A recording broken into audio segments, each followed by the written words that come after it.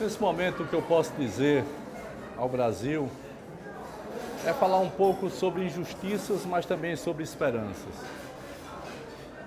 O Brasil que se encontra em Porto Alegre, o Brasil que não foi a Porto Alegre, mas que está em cada recanto das mais diversas regiões, tem os olhos muito voltados para aquilo que está acontecendo em torno do presidente Lula.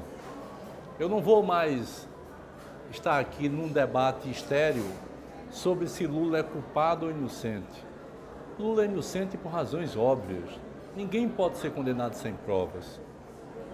Ninguém pode ser condenado quando o objeto do suposto ilícito está em nome de outra empresa, da empresa, e foi recentemente penhorado pela Justiça Federal, pela mesma Justiça Federal, em nome de um credor daquela empresa. Como alguém poderia ser dono de algo que não tem a escritura, não tem a posse, né? não passou por lá, não morou lá, enfim. Nós sabemos que o que está em discussão não é conversa fiada de triplex.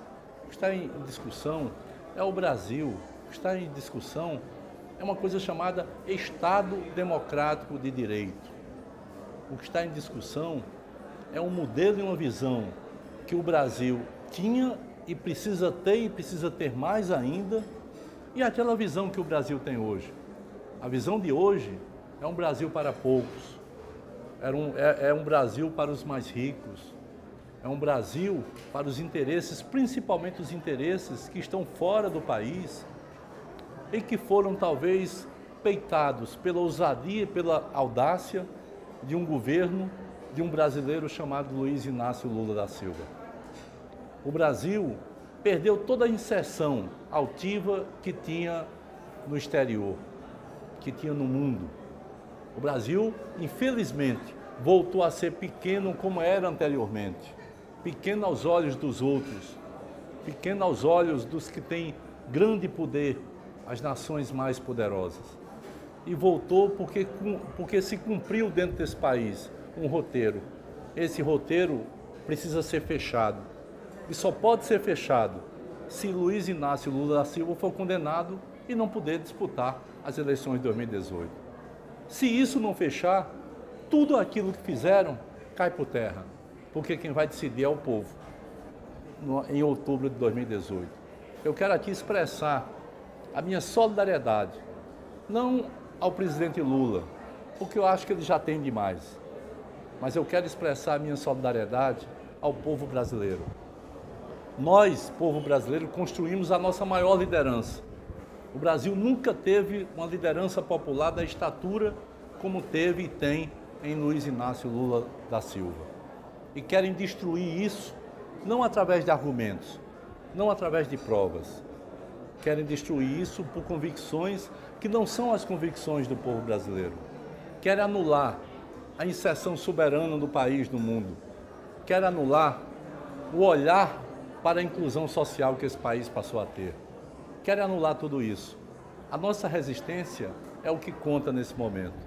É por isso que eu, aqui da pequenina Paraíba, né, enquanto governador do estado, estou aqui dizendo que mais do que nunca é necessário resistir para avançar.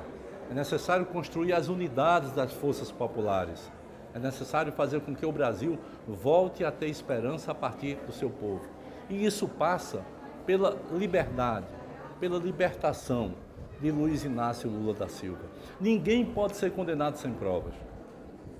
Isso não é, não, não é possível no Estado de Direito.